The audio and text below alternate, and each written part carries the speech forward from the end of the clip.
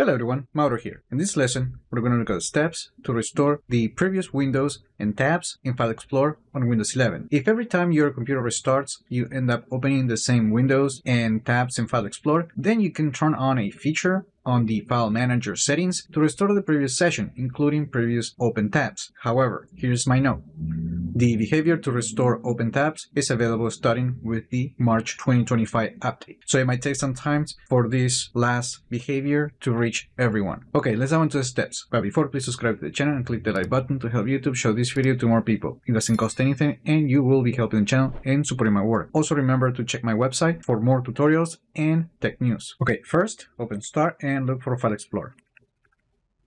And open the app. Then we're going to open folder options. Then we're going to go to the View tab, scroll down, and check the Restore Previous Folder Windows at Logon. Click Apply and click OK. Now, if I'm not mistaken, after you install the March 2025 update, if you go to the Settings app, and then you go to sign in options. If you turn on this feature right here, they want to automatically restore your apps at login. This will also turn on the option to restore windows and tabs for File Explorer, this one right here, if this option is not already checked. Now, just for a quick demo, going to open multiple tabs.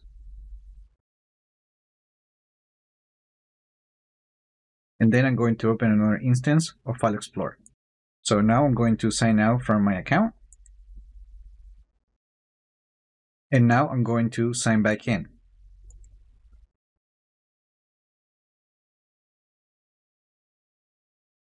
Now, as you can see, the system not only restored the windows, but also the tabs. Now, if you happen to have this option turned on and you want to disable it, then open folder options, go to view, and then clear the restore previous folder windows at logon option.